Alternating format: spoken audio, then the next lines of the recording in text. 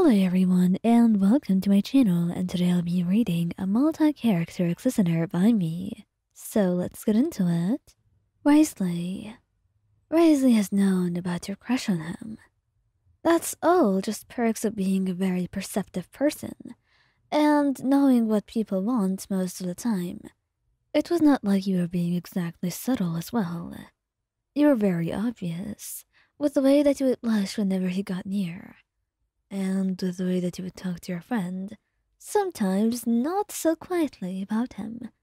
And although he acted like he didn't hear you, he did. He was no idiot.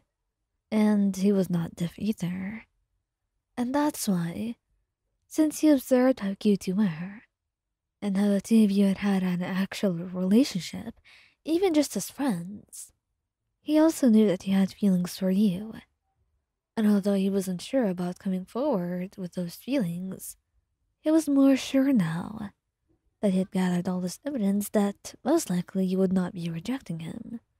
He was not one to make uncalculated steps. At least he wanted to be a little bit sure. Although there was always a possibility that you would reject him, it was low, and it felt safe to start planning a confession. And so, having asked for Wayne's advice. He had a plan. It was a simple sort, and all he needed was just something like a gift. He was really torn on what to choose, but he went with something neutral flowers and some desserts. He went over to your door and knocked. When you came out to find the Duke himself standing outside of your home, you blushed. How wouldn't you? Oh, Wriothesley, what brought you here? Is everything all right? Well, of course. Consider this a personal matter. So, uh, I. I thought I want to take you out on a date. That's all. He said. He felt a little bit awkward, and he was sure if Clorinde were there, she would be laughing at him, but he was quite glad that she was not. Instead, he presented you with the gifts, smiling confidently. So I assume I'll be taking you out at seven?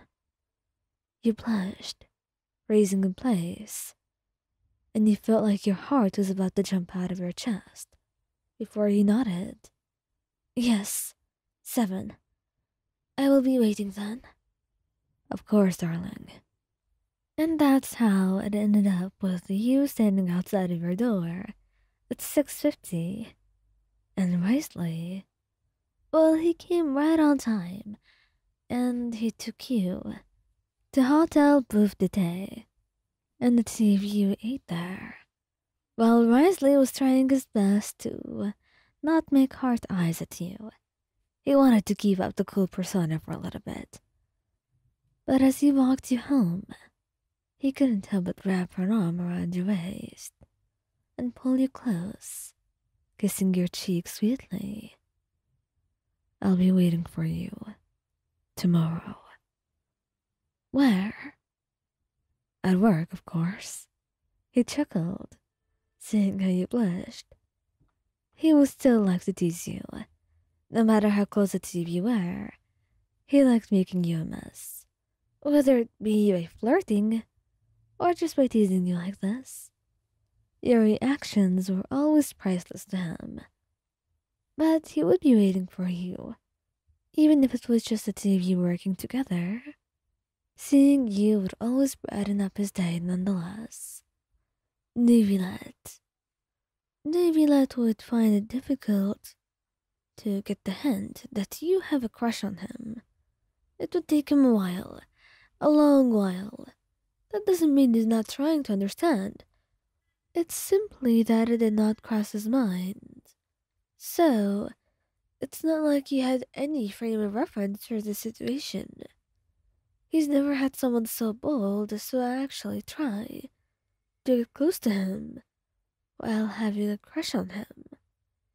And he's never had feelings for anyone.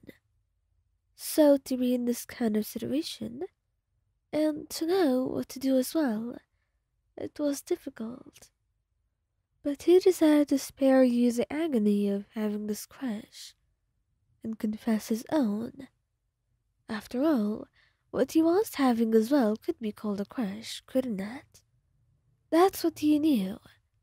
After sitting down with some Melusines, and they told him their advice. After all, they were beings that had shared some difficulties with him.